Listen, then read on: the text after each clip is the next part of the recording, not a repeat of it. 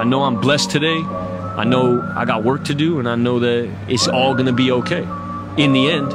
And if it's not okay, it's not the end.